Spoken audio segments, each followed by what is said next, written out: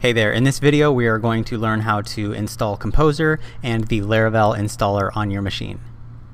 So let's go ahead and get started. If you go to getcomposer.org you should see a getting started button. You can go ahead and click on that and then you will also see a globally how to install. You can also search for globally but I will go ahead and click on this global button and will take us to the install instructions. So I can go ahead and copy and paste this into my terminal window and this first command is downloading the Composer executable and downloading it to my machine. The next step is moving this to our user local bin directory and this will make Composer globally accessible which means that I can type in Composer and it will show me a list of all the commands that I have available anytime I open up terminal. I can also type in composer dash dash version and it'll show the current version that I have installed on my machine. So that's simple enough to get Composer installed. The next step is to install the Laravel installer. So if I go to laravel.com, click on the documentation button and I scroll down to the installation, we have installing via the Laravel installer.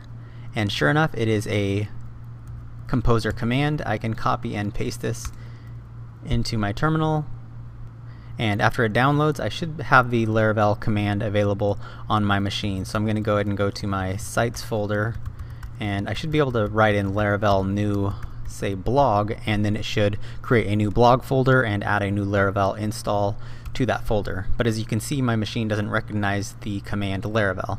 So what I need to do is I need to add the composer vendor bin directory to my ZSHRC or my bash profile. Uh, you could go ahead and Google how you do this if you're on a Windows, but for a Mac, if you're on bash, you will add this to your bash profile. If you are using a Z shell, you will add this to your ZSHRC. So I'm going to go ahead and vim into my ZSHRC file. And at the very bottom I have this commented out, but it's basically exporting a path to our composer vendor bin directory. And I will post this command below the video. So if you simply add this and then you save that, you'll probably need to close out of your terminal window for that to take effect. And we'll open it back up, go back to our sites folder, and let's go ahead and type in Laravel new application.